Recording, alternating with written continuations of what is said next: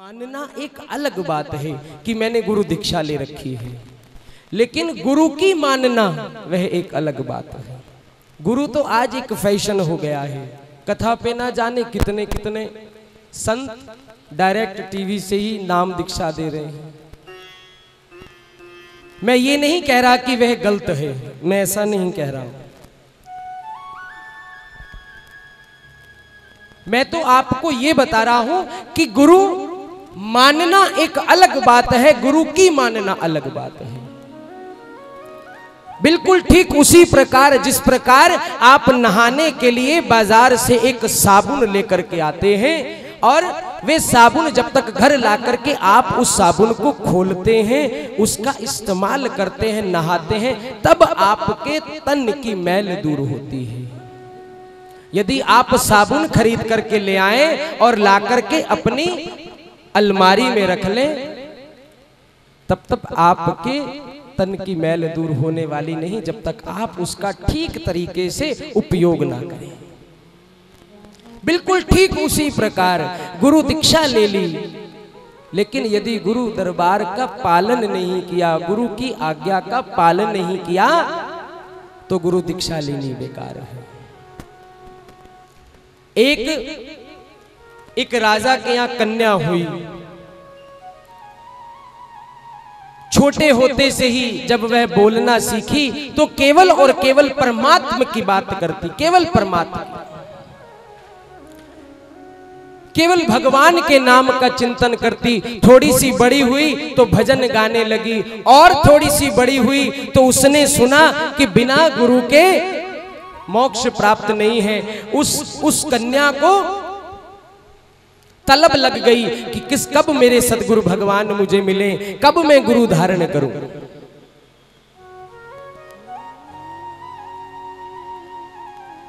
राजा ने उनकी इन सब बातों को देख करके, उसके इस चित्र को देख करके, उस कन्या का नाम रख दिया वैराग्यवती। क्या नाम रख दिया? विराग्यवती। क्योंकि हर समय विराग में रहने वाली वह कन्या राजा ने उसका नाम विराग्यवती रख दिया। उसने अपने पिता से कहा कि पिताजी, संसार में मेरा मोह नहीं है, आप कृपा करके मेरे रहने का अलग कोई व्यवस्था कर दीजिए। राजा के पास किस बात की कमी प्यारे? उसने अलग से एक बढ़िया सी आलीशान सी कुटिया बनाई। उसमें उसके लिए सभी प्रकार के सुख सुविधाएँ दी, लेकिन विराग्यवती को सुख सुविधाओं से क्या लेना देना? वे एक कमरे में रहती और केवल और केवल हरि नाम का चिंतन करती। एक बार विराग्यावती के उस महल के अंदर चोर घुस आया, उस कुटिया के अंदर चोर घुस आया। चोर नकब लगा रहे थे। नकब जानते हैं ना आप सब? दीवार को थोड़ा सा तोड़ दिया कि इसके अंदर से। अब तो पक्की दीवारें हैं, अब तो खैर, और टाइप की हो गई। नकब ही नहीं रही। कच्चे मकान, कच्ची कुटिया होती थी। तो वो नकब लगाया, थोड़ी सी जगह बनाई उस चोर ने कि उसके अंदर से लांग के चला जाए और अंदर जाकर के चोरी कर सके। नकब लगा रहा था तो उसने देखा कि वे वैराग्यवती, वे कन्या प्रभु के स्वरूप के सामने खड़ी होकर के चिंतन कर रही है कि हे प्रभु, मुझे कैसे मोक्ष प्राप्त होगा? आपका हरि नाम का सदैव चिंतन करती हूँ। मुझे सदगुरुदेव भगवान की कब प्राप्ति होगी? कब प्राप्ति होगी?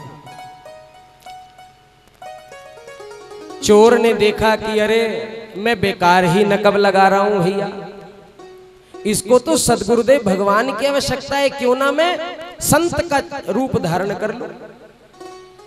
उसने मैली सी चदरिया थी चोर के पास मुँह ढकने के लिए। उसने वही ओढ़ ली और हरी हरी हरी हरी करते उसके कमरे में प्रवेश किया। जब कमरे में प्रवेश किया तो वह वैराग्यवती कन्या संत रूप जान करके चरणों में झुक गई, दंडोत किया उसने कि, जी महाराज, आपका कैसे आगमन हुआ?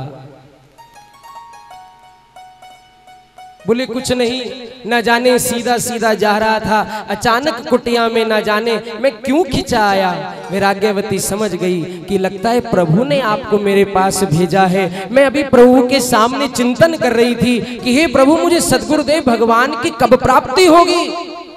तो सदगुरुदेव भगवान ने आपको भेजा है। आप मुझे गुरु दीक्षा दें। वह चोर समझ गया कि पाला मेरी और है। उसने कहा कि ठीक है। विराग्यवती भागी भागी गई। पानी लेकर के आई किसी पात्र में। जब वो जल ला करके उसने संत को दिया, संत ने इनकार कर दिया। अरे, नहीं भैया, आप दीक्षित हो। बोले, नहीं महाराज, इसी बात का तो चिंतन कर रही हूँ। बोले, नहीं, हम आपके हाथ का जल ग्रहण नहीं कर सकते। आप दीक्षित नहीं हैं। कन्या बोली, महाराज, आप हमें दीक्षा दे दें। आप हम पर कृपा करें। आप मुझे भगवान से, मेरे हरि से, मेरे प्रीतम से मिलाने का आप ही मार्ग बताइए। वह बोले कि नहीं, हम वैरागी हैं, हम ऐसे नहीं देते। दीक्षा, आपको जंगल में चलना पड़ेगा। बोले, ठीक है महाराज, मैं आपके संग चलने के लिए तैयार हूँ। बोले, ठीक है, अगर कोई जेवरात घर में है तो वो ले लो, आज के बाद आपका उससे कोई काम नहीं है। विराग्यवती को तो सिर्फ़ सदगुरुदेव भगवान के नाम से लेना देना था। उसने सारी जितना भी जेवरात राजा ने दिया था, वे तो पहले ही उसके किसी काम का नहीं था। उसने सारा जेवर एकत्र कर लिया। बोले, और सुंदर सुंदर कपड़े भी हो, जिनसे तुम्हारा मोह हो, वो भी रख लो। आज त्यागने हैं तुमको। बोले, महाराज, मेरा तो मोह नहीं है, लेकिन हाँ कुछ कपड़े मेरे पिता ने, मेरे राजा ने मुझे दिए हैं। मैं वो सब कपड़े बाँध लेती हूँ। उस कन्या ने, उस विराग्यवती कन्या ने, वो सब कपड़े और जेवरात उसने बाँध लिए पहुँच गई उस बहरूपीय के साथ जंगल में। जब जंगल में पहुँची, वह चोर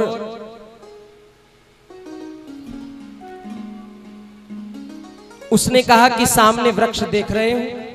कन्या बोली हाँ बोली, इसके साथ खड़े हो जाओ। पहले मैं आपको बंधन में बांधूँगा, फिर बंधन मुक्त करूँगा।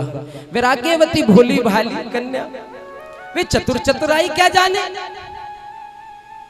वैराग्यवती उस पेड़ के साथ जो ही खड़ी हुई, त्यों ही उस चोर ने उस बहरूपी ने रस्सी निकाली और वैराग्यवती को बाँध दिया।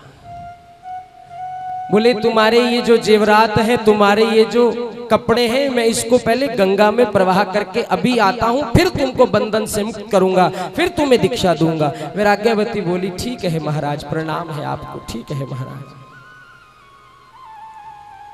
महाराज, चोर कब हाथ आने वाला है, वो तो गया। वैराग्यवती वहीं बैठी। किसी ने जाकर के बताया कि राजा को आपकी कन्या वहाँ जंगल में बंद है। राजा जी दौड़े दौड़े गए। बोले, अरे बेटी, ये कैसे हुआ? सारा वृतांत बताया कि मेरे घर आज सदगुरुदेव भगवान आए हैं। आज मैं बंधन से मुक्त हो जाऊँगी। आज मुझे दीक्षा मिलने वाली है। बोले, पगली, वो चोर था। तुझे बाँध करके तेरा सारा जेवर लूट करके ले गया। घर चल मैं तेरा अभी बंधन खोलता हूँ। बोले, नहीं पिताजी, आप मेरे पिता हैं, आपको प्रणाम है। इस बंधन में गुरु ने बांधा है, गुरु ही मुझे मुक्त करेंगे। आपको प्रणाम है, लेकिन बंधन तो केवल गुरु ही खोलेंगे। पिताजी चले गए। बोले, मर तो फिर। जब बालक बात नहीं मानता माता पिता हार के क्या कहेंगे? मर फिर। बोले, मर फिर। कुछ देर बाद संत बताते हैं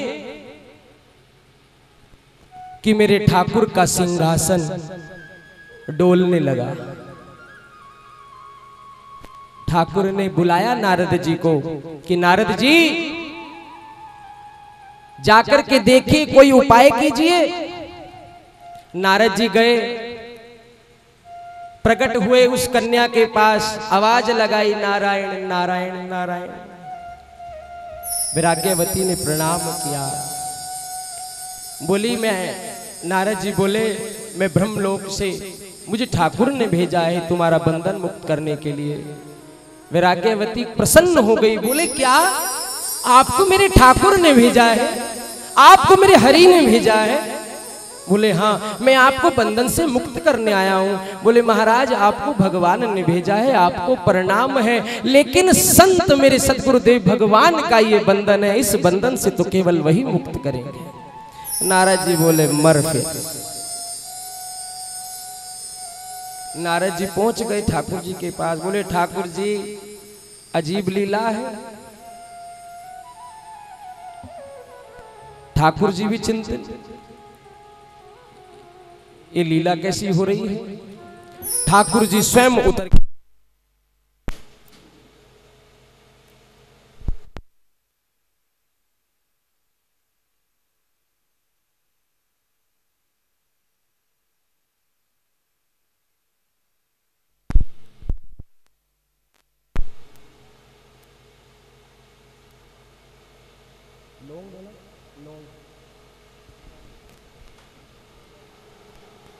श्राद्ध श्राद्ध।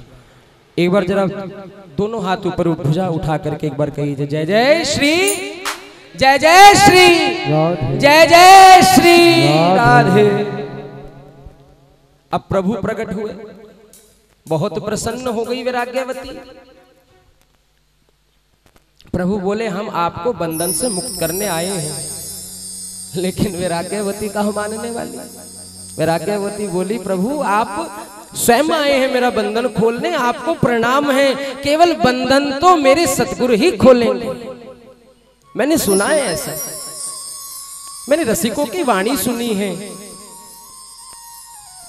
उसने मन ही मन सोचा, वैराग्यवती ने कही, ये मेरी परीक्षा ना हो कि मैं कहीं भगवान के लालच में आके सतगुरुदेव भगवान को खो ना बैठूं। नहीं, मैं बंधन तो केवल सतगुरुदेव भगवान से ही खुलवाऊँगी।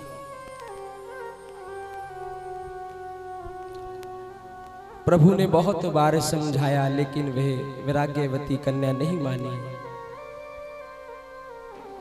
नारद जी को बोला, ठाकुर जी ने प्यारे, करो कुछ इंतज़ाम, ढूंढ के लाओ।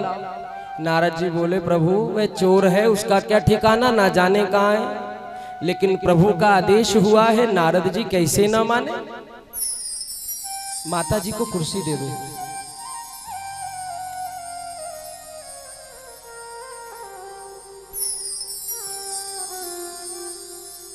प्रभु का आदेश हुआ है नारद जी कैसे ना माने। नारद जी चले गए अंतर ध्यान होकर के देखा जहाँ वह चोर किसी और कुटिया में चोरी की तलाश में नकब लगा रहा था वहीं पर पीछे से एकदम से नारायण ना, नारद जी पहुँच गए और बोले नारायण नारायण चोर घबरा गया। बोले लगता है पकड़ा गया। बोले चलो महाराज। शिष्या बुला रही है, गुरुदेव, शिक्षा बुला, शिष्य बुला रही है आपकी। बोले, नहीं नारद जी, मेरे से गलती हो गई। मैं कोई गुरु गुरु नहीं। नहीं प्रभु, आप तो गुरु हैं। वे इंतज़ार कर रही है। वैराग्यवती बंधन खुलवाने के लिए आपकी प्रतीक्षा कर रही है, राह देख रही है। आपको चलना पड़ेगा। बोले, नहीं नारद जी, मुझे माफ़ कर दीजिए। जैसे चोर पकड़ने पर गिड़गिड़ाता है, वो भी गिड़गिड़ाया। नारद जी बोले, भैया, वहाँ प्रभु खड़े क्या? वहाँ प्रभु खड़े हैं? जी हाँ वहाँ प्रभु खड़े हैं। आपको चलना पड़ेगा। चोर को ज़बरदस्ती पकड़ के लाया गया। नारद जी लेकर के आए। भगवान बोले, भैया गुरु जी जरा बंधन से मुक्त कीजिए वैराग्यवती को। बोले, नहीं महाराज, प्रभु मेरे से गलती हो गई। मैंने धन के लालच में आकर के ऐसा स्वयंवर रचा लिया। मेरे से बहुत बड़ा अपराध हो गया। बोले, नहीं, आपके अपराध की बात बाद में करेंगे। पहले आप इस शिष्य को बंधन मुक्त कीजिए। आप भक्ति देखी विराग्यवती की जो ही उस चोर ने बंधन से मुक्त किया। विराग्यवती को, विराग्यवती के सम्मुख खड़े हैं नारद जी, सम्मुख खड़े हैं नारायण जी, और सम्मुख खड़ा है वह चोर, जिसको वो हृदय से अपना सतगुरु मान चुकी है। वे इस चोर के, उस सतगुरुदेव भगवान के श्री चरणों में झुक गई और बोल उठी, गुरु गोविंद, दोनों खड़े, मैं काके लागू पाए? अरे बलिहारी गुरु आपके जिन गोविंद दियो मिला आप चोर हैं, मुझे कोई लेना देना नहीं प्रभु। आप मेरे सदगुरुदेव भगवान हैं, मैं हृदय से आपको धारण कर चुकी हूँ। आपकी कृपा के कारण ही आज प्रभु मेरे सम्मुख हैं, इनका दीदार पा पाई हूँ, इनका दर्शन कर पाई हूँ। मेरे सच्चे सदगुरु तो आप हैं। लेकिन हम लोग, यदि गुरु दरबार में आए, गुरु दरबार के कोई सेवक भी यदि कोई छोटी बड़ी बात कह दे तो हम गुरु दरबार जाना छोड़ देते हैं। यदि हम लोग गुरु दरबार जाएँ और गुहा के कोई सेवक ही यदि हमें कोई बात कह दे, यहाँ हमारे श्री चड्डा जी को ही ले लो। कितनी सेवा है? संत कहते हैं सामने वाले के दोष को मत देखो। उसमें लाख दोष हैं। केवल उसके एक गुण को देख लो। केवल एक गुण को। कैसी कठिन तपस्या है। अपने घर को छोड़ करके बैठना आसान बात नहीं है। आइए एक छोटा सा भाव। जिस जिसने गुरु धारण कर रखे हैं, वो अपना विश्वास दृढ़ करने के लिए इस भाव को बोले। और जिसने आज तक कोई गुरु धारण नहीं किया, वे प्रभु से प्रार्थना करें।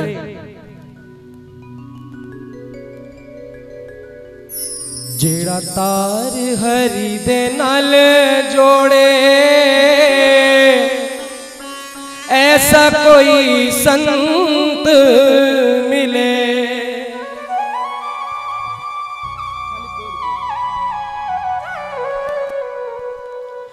जेड़ा तार हरि नाल जोड़े।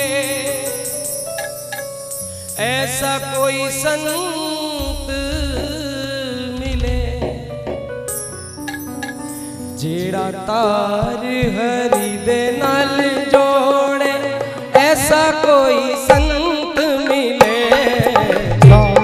हरि के नाली जोड़े ऐसा कोई संत मिले जेड़ा तार हरि दे नाल जोड़े ऐसा कोई संत मिले।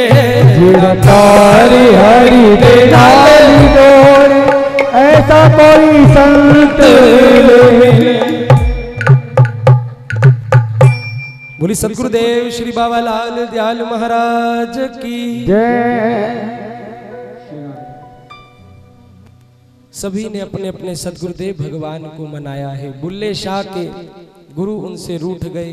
तो कंजरी बन करके भी बुल्ले शाह ने अपने गुरुदेव को मनाया है। कंजरी बन करके नाचे हैं उनके दरबार में। पग घुंघरू बाँध, मीरा नाची, वे भी केवल गिरधर के लिए। उसके तो सतगुरु भी यही, गिरधर भी यही, गोपाल यही। गुरु दरबार की यही महिमा है, प्यारे। यदि आप किसी गुरु दरबार से जुड़ते हैं तो उसमें अपनी आस्था रखिए। आप सभी बड़े भाग्यशाली हैं, सदगुरुदेव भगवान की कृपा से ये श्री भक्तमाल कथा श्रवण करने को मिल रही है। श्री भक्तमाल कथा, आप सभी के मन में प्रश्न होगा कि भक्तमाल कथा है क्या? ये भक्तमाल कथा है क्या? इसके नाम से ही पता चलता है, यह एक भक्त वत्सल भगवान के प्यारे, लाडले, चहेते भक्तों की कथाओं की एक माला है, जिसको श्री नाभा जी ने पिरो करके प्रभु के श्री चरणों में अर्पण किया। आप मत भागवत कथा सुनते हैं। उसको प्रभु के प्यारे, प्रभु के नाम का आश्रय लेकर के जन जन तक पहुंचाते हैं। लेकिन भक्त माल कथा इसके प्रथम श्रोता मेरे ठाकुर जी स्वयं हैं। भक्त माल कथा के प्रथम श्रोता मेरे ठाकुर जी स्वयं हैं। आप सभी की जानकारी के लिए बता दूँ, श्री बाके बिहारी मंदिर में कौन कौन गए हैं बाके बिहारी मंदिर? लेकिन कुछ ही लोगों को मालूम है कि बाके बिहारी मंदिर में जब बिहारी जी को भोग अरोगा जाता है तो उनके सम्मुख भक्तमाल कथा का गायन होता है। तब मेरे ठाकुर जी उस निवेदित प्रसाद को, उस भोग को आरोगते हैं।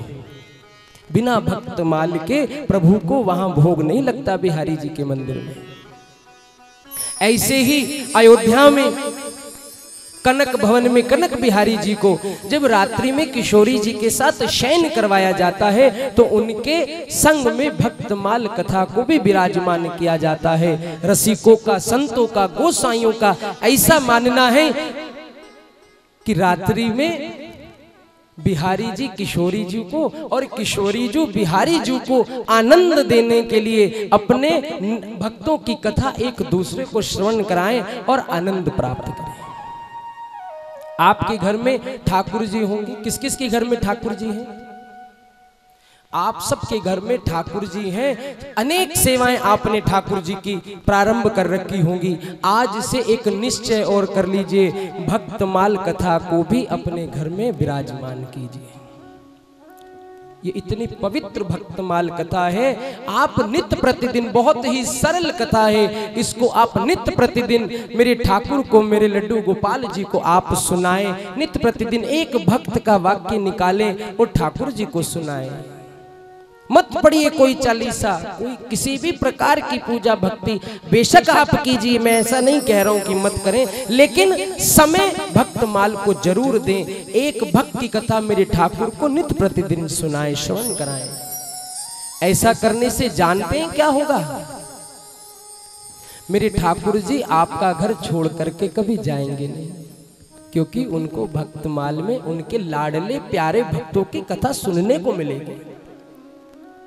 और यदि किसी दिन समय ना हो, मलूक पीठ वाले श्री राजेंद्र दास जी महाराज, परम पूजनीय रसिका पागल जी महाराज के परम शिष्य श्री चित्र विचित्र जी महाराज जी बाबा जी कहते हैं कि यदि आपके पास समय ना हो तो आप ठाकुर जी को केवल इतना कह दें कि प्रभु, आज थोड़ा सा कार्य में व्यस्त हूँ, आज मेरे पास समय नहीं है, आपको मैं कल इस भक्त की कथा सुनाऊँगा। किसी भी एक भक्त का नाम लेकर के कह दीजिए, आपको कल मैं उस भक्त की कथा सुनाऊँगा। आज थोड़ी सी व्यस्तता है, आपसे आज के लिए क्षमा। बिहारी जी, कल के इंतज़ार में आपका घर छोड़ करके जाने वाले नहीं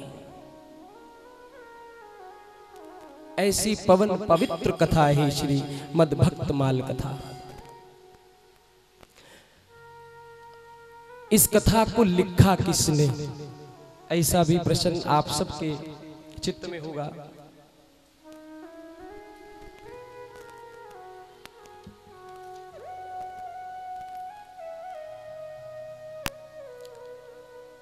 श्री नाभादास जी महाराज, एक बार की बात है। हनुमान जी महाराज योग में बैठे होते हैं और योग में बैठे बैठे उनको पसीना आ जाता है। जब वो पसीने की बूंद टपकती है तो शंकर भगवान देख लेते हैं, उसे अपने हाथ में उस पसीने की बूंद को ले लेते हैं। और समय आने पर उसको नाभादास जी का रूप देकर के प्रकट करते हैं श्री नाभादास जी को।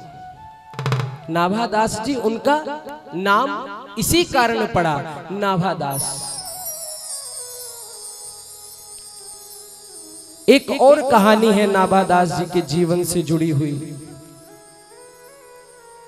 आप सभी जानते हैं, मेरे ठाकुर जी अपनी बाल लीला के वक्त जब ब्रिज में लीला कर रहे थे तो ब्रह्मा जी ने मेरे ठाकुर के ग्वाल जितने उनके सखा थे, उनकी गैया थी, सब चुरा ली थी और ब्रह्मलोक में ले गए थे। जब ब्रह्मलोक में ले गए तो मेरे ठाकुर ने अंतर ध्यान होकर के देखा कि ब्रह्मा जी की करतूत है। ब्रह्मा जी को शाप दे दिया। मेरे ठाकुर ने, कि आपके पास नेत्र होते हुए भी नेत्रहीन वाला कार्य आपने किया है तो आप नेत्रहीन होकर के आप धरती पर जन्म लेंगे। ऐसा भी मानना है कि श्री नाभादास जी महाराज ब्रह्मा का ही अवतार हैं। जब ब्रह्मा जी के अंश अवतार श्री नाभादास जी प्रकट हुए प्रकट होते ही कुछ ही माह के बाद उनके पिताजी का देहांत हो गया। पिताजी का देहांत हो गया। जिस गाँव में वो रहते थे, वहाँ सूखा पड़ गया। उनकी मैया, उनका भरण पोषण, उनका पालन करने हेतु उनको वन में लेकर के चली गई कि शायद कोई पुष्प मिल जाए, शायद कोई फल मिल जाए, कोई तरु मिल जाए, जिससे मैं अपने लाल की भूख मिटा सकूँ। एक माह से ऊपर हो सका है, सूखा पड़े, कोई ढंग से कोई चीज़ मिल नहीं पा रही, पानी भी नहीं मिल पा रहा। कैसे करूँ अपने इस लाल का भरण पोषण?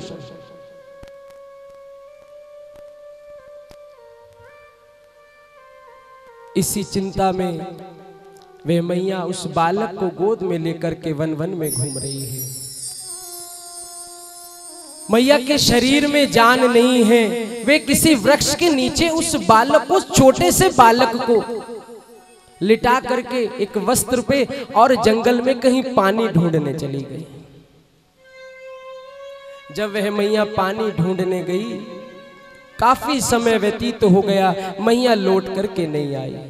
क्योंकि नाभादास जी पिछले ही जन्मों से ब्रह्मा अंश हैं, इसलिए उनके बेशक ये नेत्र नहीं थे, लेकिन हृदय के नेत्र इतने उज्जवल थे कि उनको उनको पता हो चल गया कि लगता है मेरी मैया के साथ कोई घटना घट गई है।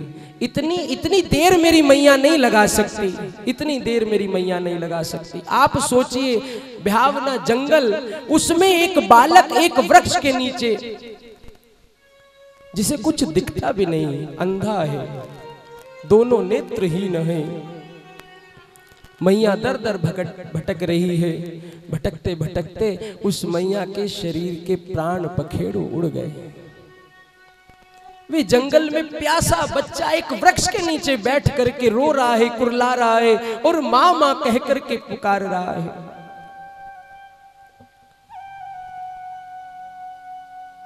काफ़ी समय व्यतीत हो गई संध्या समय होने को आ गया, अंधेरा होने को आ गया। वे बालक की मैया नहीं उसके पास आई। अरे आएगी कहाँ से वे मैया? तो स्वर्ग सिधार गई।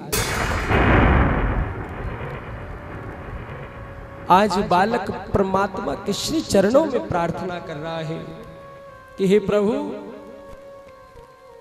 ये कैसा खेल है?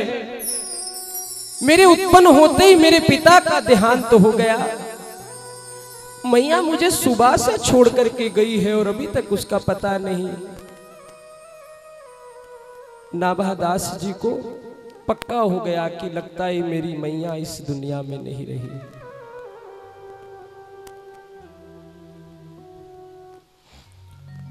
जिस्म तो होता है जिस्म तो होता है, मगर जिसम में जान नहीं होती। जिस्म तो होता है, मगर जिस्म में जान नहीं होती। उस बच्चे को।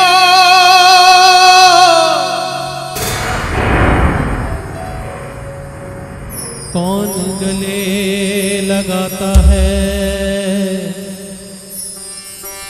जिस बच्चे की माँ नहीं होती है। जिसको जुबा दी है रब ने, जिसको जुबा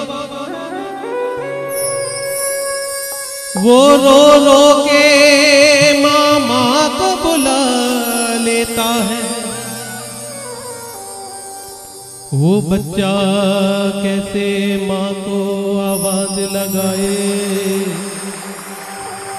जिस बच्चे की ज़ुबान नहीं होती है। कैसे पुकारे नाभाजेरे छोटे से बालक है, कहीं चल करके जा नहीं सकते, किसी से विनय नहीं कर सकते। कि कोई मेरी मैया को ला दो उस जंगल में कोई व्यक्ति नहीं है किससे प्रार्थना करे नाभाज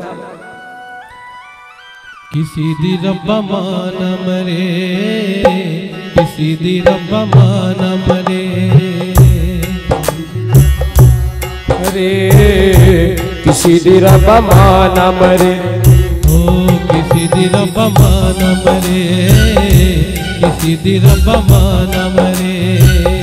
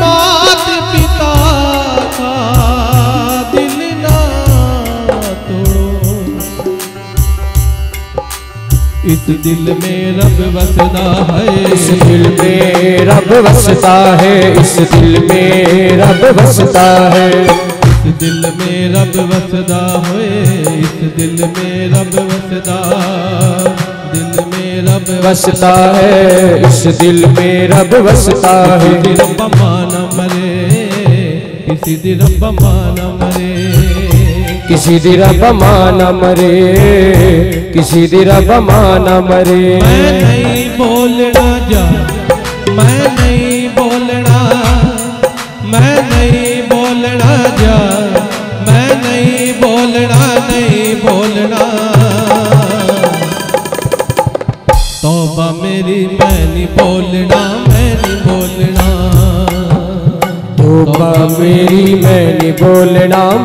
बोलना।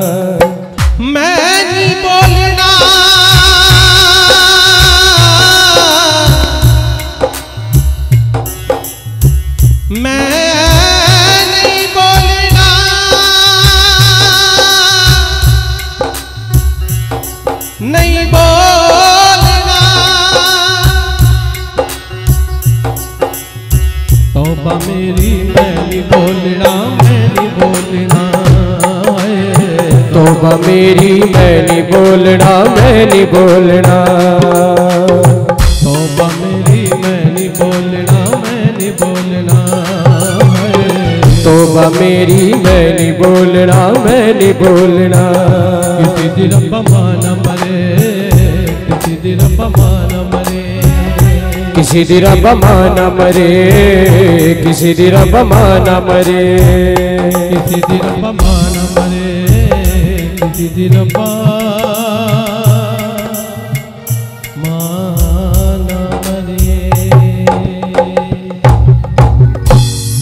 किसी पुकारे नाभाजी? उस भयानक जंगल के अंदर अकेले नाभाजी जिनको कुछ दिखाई नहीं दे रहा। मैया मैया मैया कहते वो बालक उसके प्राण सूख रहे हैं, ना जाने कितने दिनों से उसने पानी भी नहीं पिया।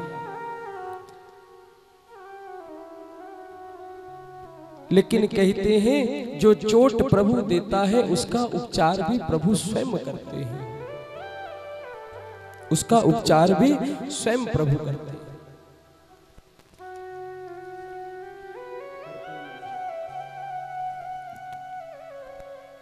जैसे ही नाभादास जी को विश्वास हो गया, काफ़ी समय व्यतीत तो हो गया कि मैया मुझे इतनी देर छोड़ करके कहीं नहीं जा सकती।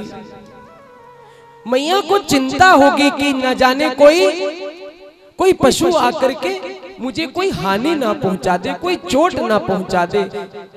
मुझे अपनी भूख का ग्रास ना समझ ले। मैया इतनी देर मुझे छोड़ करके नहीं जा सकती। उसे पक्का विश्वास हो गया कि मेरी मैया के साथ तो कोई होनी घट गई है। इसी के साथ साथ नाभादास जी अपनी मैया का शुक्रिया अदा कर रहे हैं कि मैया तेरा शुक्र है, एक काम तू जाते जाते बहुत अच्छा कर गई। तू जाते जाते मैया एक मुझ पर उपकार कर गई।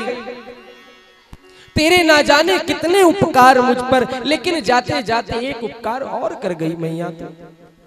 यदि मुझे तू गाँव में छोड़ करके जाती, मुझे किसी व्यक्ति पर आस होती, किसी जीव पर आस होती, यहाँ तो दूर दूर तक मैया कोई जीव नहीं है, मुझे यहाँ पर किसी जीव पर आस नहीं है। किसी प्राणी पर आस नहीं है, केवल आस है तो अब जगदीश की है वही मेरे पालनहार है। उनको पुकारने के सिवा अब मेरे पास और दूसरा कोई चारा नहीं है। तो नाभादास जी अपने प्रभु को, अपने हरि को, अपने सदगुरुदेव भगवान को पुकार रहे हैं। आइए आप भी पुकारिए, यदि आपके जीवन में अभी गुरुदेव भगवान प्रकट नहीं है, आपके जीवन में यदि अभी सदगुरुदेव भगवान नहीं आए हैं तो इस भाव के माध्यम से विश्वास कीजिए आपके सदगुरुदेव भगवान जहाँ भी होंगे, आपको अपने श्री चरणों में लगाएँगे, लेकिन भाव के साथ कहिए प्यारे। हर पल में मुझे सतगुर। बस तेरा सहारा है। मेरी नैया संभालो तुम। बड़ी दूर की नारा है।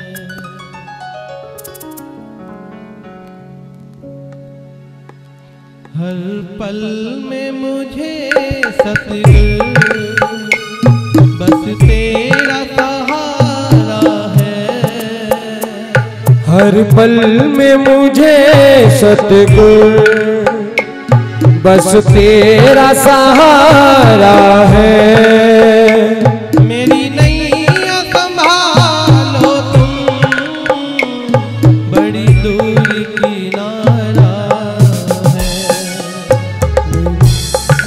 है। सतगुर बस तेरा सहारा है। तुम बस नारा है।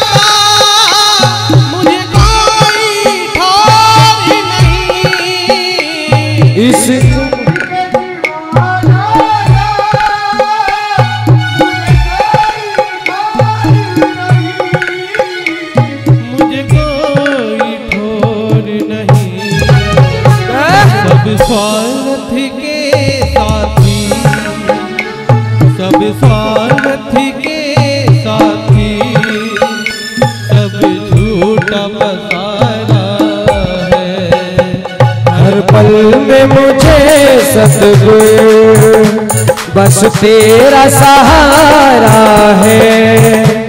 मेरी नैया संभालो हरिदूर किनारा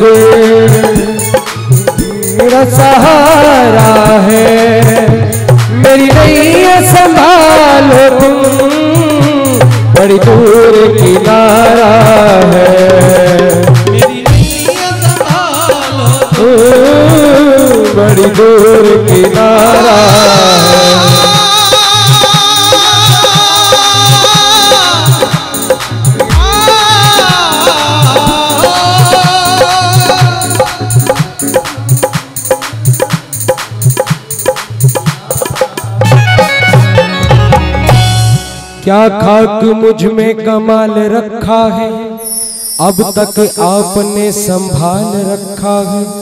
और मेरे जैसे दर दर भटकने वाले भिखारी को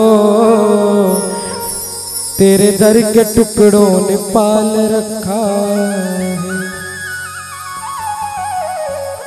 नाभादास जी की करुण पुकार सुन करके आज ठाकुर के पास संदेश पहुँच गया। कैसे ना रिझते करुणा निधान कैसे ना सुनते। ऐसी करुण पुकार नाभाजी ने कही और एक और से जंगल में जहाँ कोई दूर दूर तक कोई जीव नहीं है कोई प्राणी नहीं है दो संत गुरु भाई चले आ रहे हैं जिनका नाम है श्री कील देव जी और श्री अग्रदेव जी महाराज। कील देव जी की निगाह पड़ी अग्रदेव जी से कहने लगे, अरे भैया, जरा देखो वो पेड़ के नीचे कोई बालक नज़र आता है. अग्रदेव जी आगे हुए देखा, बोले हाँ महाराज जी, एक बालक ही है। उस बालक से कील देव जी अग्रदेव जी पूछ रहे हैं कि आप कौन हैं? नाभादास जी कह रहे हैं, यदि आप मेरे शरीर की बात कर रहे हैं तो ये तो नश्वर है, एक दिन नष्ट हो जाएगा। और यदि आप मेरी आत्मा की पूछ रहे हैं तो वे तो अमर है, अजर है। उसका क्या परिचय दूँ मैं आपको? कील देव जी, अग्रदेव जी एक दूसरे का मुख देखने लगे। अग्रदेव जी ने पूछा, उस बालक से, आप कहाँ से आए हैं? वे बालक बोल उठा कि भैया, जहाँ से यह सब संसार आया है, मैं भी उस करतार के दरबार से ही आया हूँ, मैं भी उसके श्री चरणों से ही आया हूँ। मेरा क्या ठिकाना है? फिर पुनः कील देव जी, अग्रदेव जी एक दूसरे का मुख देखने लगे, निहारने लगे, पूछते हैं, आपका नाम क्या है? नाभा जी बोले, अरे, क्या नाम बताऊँ मैं आपको? क्या नाम बताऊँ प्रभु मैं आपको? नाम तो केवल प्रभु का है, परमात्मा का है। मेरा नाम कुछ भी हो, एक ना एक दिन तो मिट जाने वाला है। और जो मिट जाने वाला है, उसके नाम से क्या लेना देना? क्या लेना देना? अग्रदेव जी कील देव जी मुस्कुराए और बोले आपका पिता कौन है? यही जानना चाहते हैं। बोले सबका पिता वही पालनहार है। मेरा इस संसार में कोई नहीं है। मेरा भी वही पालनहार मेरा भी वही करतार है। पालनहार पिता पिता पालनहार वही मेरा पिता है। श्री नाभा देव दास जी श्री कील देव जी। की बीच की ऐसी बात सुनकर के अग्रदेव जी की आँख में आँसू आ गए। इतना सुंदर बा, बालक है कितनी अलौकिक बातें करता है और इसके नेत्र भी नहीं है। संत की जब कृपा होती है न जाने कब हो जाए कब रीझ जाए वे स्वामी। कील देव जी ने अग्रदेव जी से इशारों ही इशारों में बात करी और बालक को उठाया, अपने कमंडल से जल निकाला और बालक की नेत्रों वाली जगह पर डाला और उस बालक को रोशनी आ गई। बोले भगवत्सल भगवान की संत बताते हैं कि भक्त वत्सल भगवान की ऐसी कृपा। भैया, कोई बात करनी तो उठ करके चले जाओ।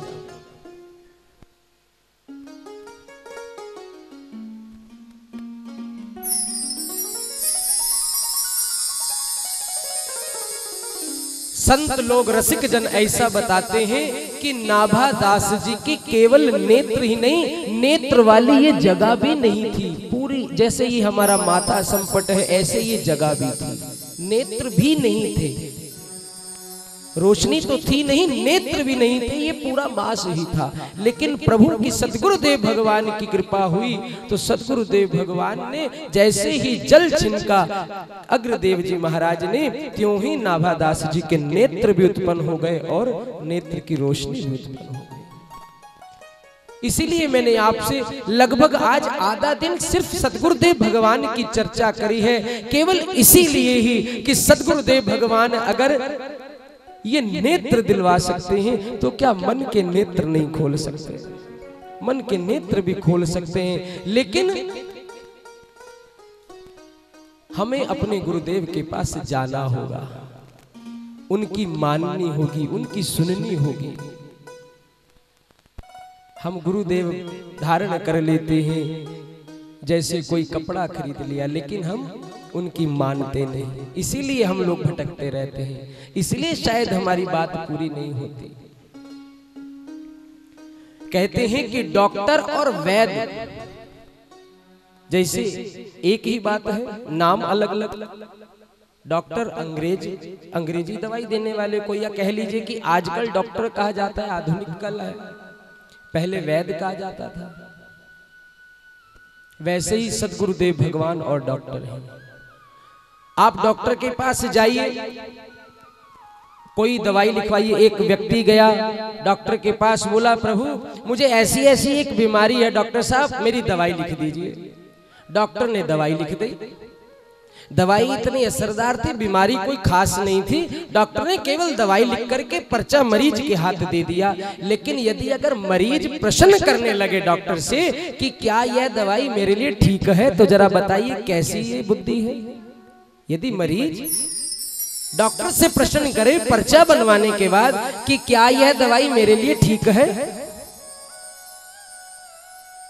एक बार की बात है तो हँसी की। महाराज एक डॉक्टर के पास एक व्यक्ति गया मरीज़ गया उसने जाकर के डॉक्टर से पर्चा लिखवाया कि ऐसे ऐसे मुझे एक बीमारी है आप पर्चा लिख दीजिए। डॉक्टर साहब ने पर्चा लिख दिया।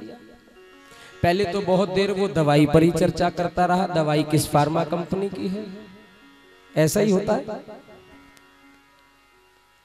काफ़ी देर चर्चा करी।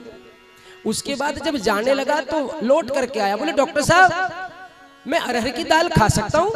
डॉक्टर साहब बोले हाँ हाँ खा सकते हो खा सकते हो।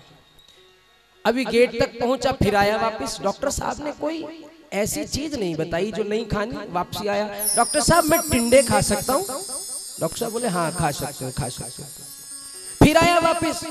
बोले, डॉक्टर साहब, मैं घिया खा सकता हूँ। बोले हाँ खा सकते हो।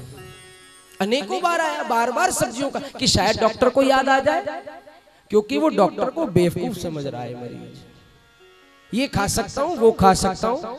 डॉक्टर साहब ने कहा, जो तेरी इच्छा वो खा, लेकिन मेरा सर मत खा। अब बताइए ज़्यादा डॉक्टर को कहेंगे तो डॉक्टर क्या कहेगा? अच्छा चलो आपने जो खाना हो खा लेना लेकिन हल्की चीज़ खाना। ज़्यादा भारी चीज़ मत खाना हल्की हल्की चीज़ खाना। लेकिन मरीज़ तो मरीज़ है जो अपनी अकल लड़ाता है वो कहीं ना कहीं फेल हो जाता है। उसने कहा अच्छा हल्की चीज़ खानी है। दिमाग लड़ा रहा है हल्की चीज़। मिट्टी में और पानी को यदि मिलाया जाए क्या बैठ जाएगा? क्या बैठेगा मिट्टी बैठ जाएगी पानी ऊपर आ जाएगा। बोले पानी हल्का है।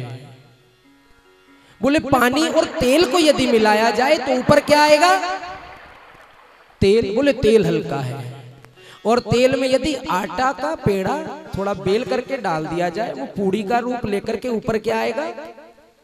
वो कहेगा इससे हल्का क्या है? तो पानी से भी हल्का है यही खाऊँगा। बताओ मरीज़ ठीक क्या होगा? बीमारी का तो पता नहीं मरीज़ बचने वाला नहीं। तो ऐसे ही गुरु के बताए मार्ग पर जो संशय करता है जो हस्तक्षेप करता है वो कल भी डूबा और आज भी डूबा मानो। वो कल भी डूबा प्यारे आज भी डूबा। लेकिन नाभादेव जी नाभादास जी उन्होंने पूर्ण विश्वास करके प्रभु को पुकार करी। उनके मन के नेत्र तो बचपन से ही उत्पन्न समय से ही नेत्र उनके खुले थे। आज उनके वो नेत्र भी वापिस आ गए। प्रार्थना करने लगे नाभादास जी, कील देव जी से अग्रदेव जी से कि आप अपना शिष्य जानकर मुझे अपने श्री चरणों में जगा दे दीजिए। कील देव जी, अग्रदेव जी अपने साथ उस बालक को ले गए। जयपुर के पास महाराज जी जगह है, आप जानते होंगे। जयपुर के पास गलता गाती नाम से एक जगह है, पहाड़ों के ऊपर जाकर के। वहाँ अग्रदेव दास जी और कील देव जी के गुरु जी का स्थान था, वहाँ उस बालक को ले गए। उसका मुंडन करवाया गया उसे नाम दीक्षा दी गई। उसका नामकरण संस्कार हुआ दीक्षा के बाद। नाम रख दिया श्री नारायण दास जी। बोले नारायण दास जी महाराज की।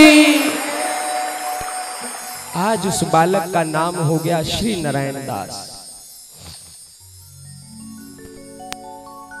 श्री नारायण दास जी, क्योंकि अपने सदगुरुदेव भगवान का कर्म पहले ही जान चुके थे, बिल्कुल निष्काम भाव से सदगुरुदेव भगवान के श्री चरणों में लग गए।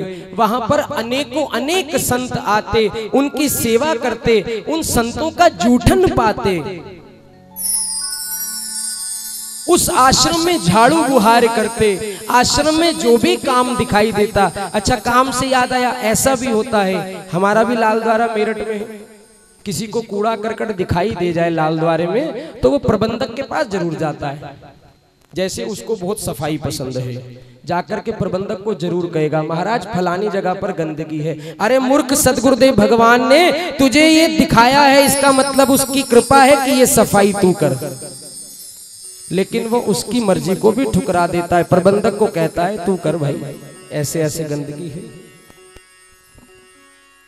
ऐसा नहीं होना चाहिए। अग्रदेव जी को मालूम था कि नाभादास जी श्री नारायण दास जी ये बहुत श्रद्धा विश्वास वाले हैं। इसीलिए उनको अपने श्री चरणों में स्थान दिया। और श्री नारायण दास जी श्री नाभा जी आश्रम का सारा कार्यभार संभालते संतों के लिए पकवान भी बनाते संतों का जूठन भी उठाते संतों का जूठन पाकर के अपने दिनचर्या को निभाते। कभी शिकायत नहीं करी अपने गुरु से सदैव गाते रहते। मेरे सतगुर तेरी नौकरी सबसे बढ़िया है सबसे कौन कौन अपने गुरु दरबार का सेवक चाकर बन करके रहना चाहता है वो इस भाव को झूम करके नाच करके गाता रहे भैया। मेरे सतगुरु तेरी नौकरी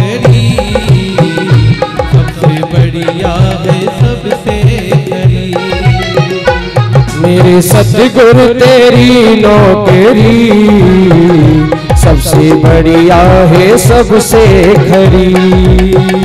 तेरे दर की प्रभु हाजरी।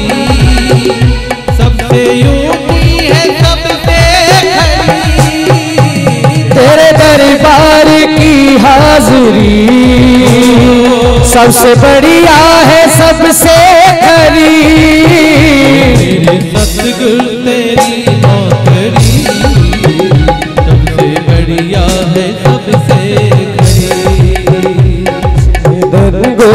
तेरी नौकरी सबसे बढ़िया है सबसे खरी।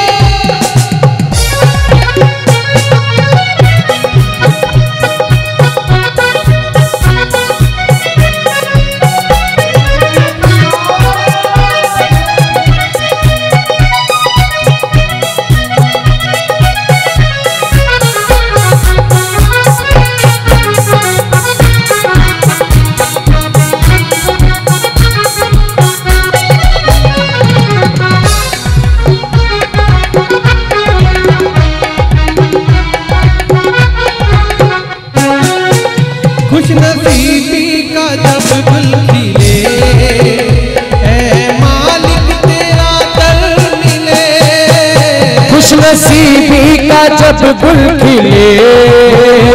मेरे मालिक तेरा दर मिले। खुश नसीबी का जब गुल खिले मालिक तेरा दर मिले। खुश नसीबी का जब गुल खिले।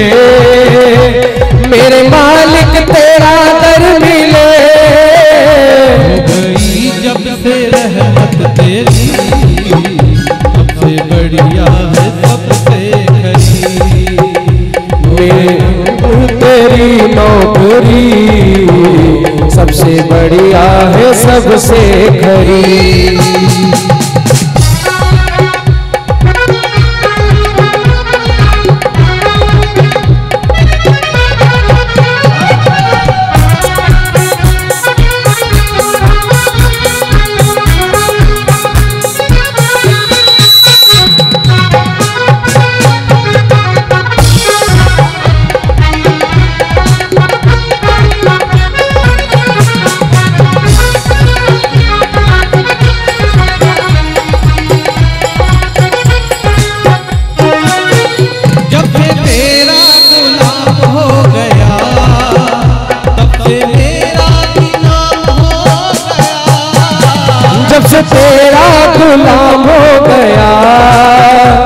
जब से मेरा भी नाम हो गया।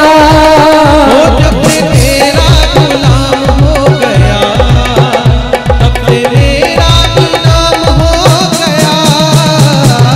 तेरा गुलाम हो गया। तब से मेरा भी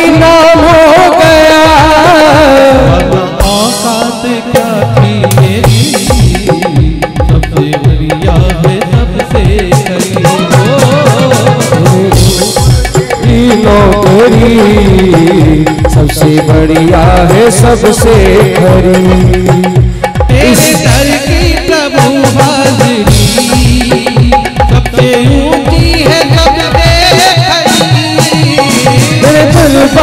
की हाजरी, सबसे बढ़िया है सबसे खरी। सतगुरु तेरी नौकरी सबसे बढ़िया है सबसे मेरे दरबार की हाजरी। सबसे बढ़िया है, सबसे खरी।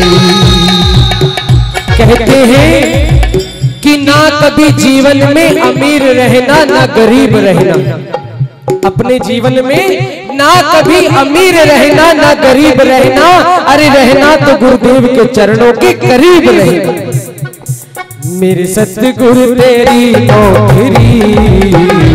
सबसे बढ़िया है सबसे खरी।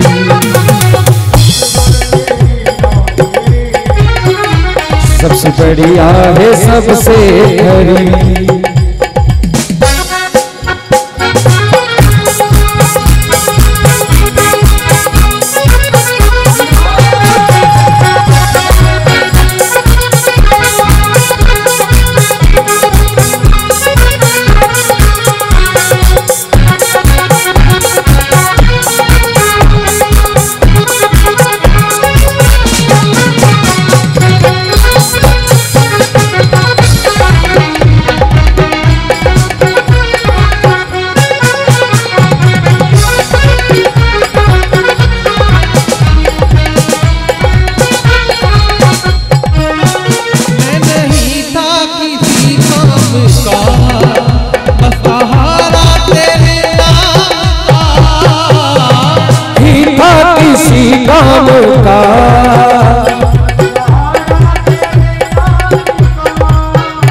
यदि आप गुरुदेव मुझे अपनाते नहीं तो ना जाने उस जंगल में उस दिन मुझे कोई पशु खा जाता।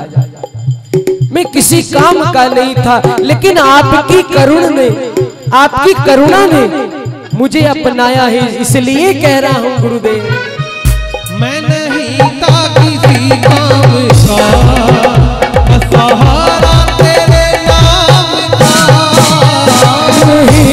किसी काम का बस सहारा तेरे नाम का। ढूंढली मैंने मंजिल नहीं सबसे बढ़िया है सबसे खरी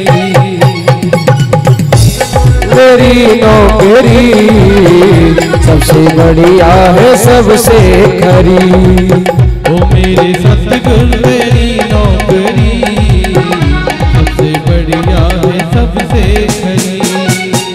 मेरे सतगुरु तेरी नौकरी सबसे बढ़िया है, सबसे खरी। तेरे दर की प्रभु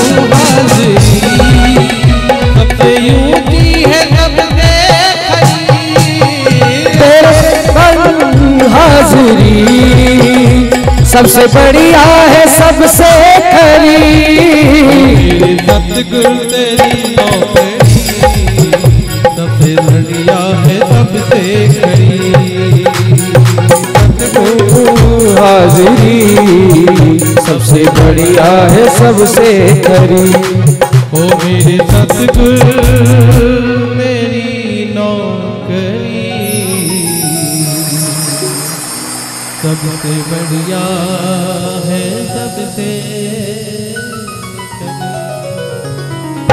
बोले भक्त भगवान की।